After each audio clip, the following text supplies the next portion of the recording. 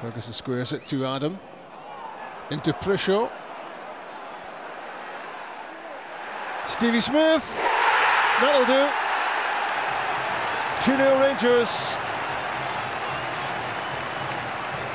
In the 77th minute. That surely makes things safe. And a collective sigh of relief around Ibrox. Uh, As Stevie Smith scores his first Rangers goal of the season. And it was unstoppable from a tight angle that hit with so much power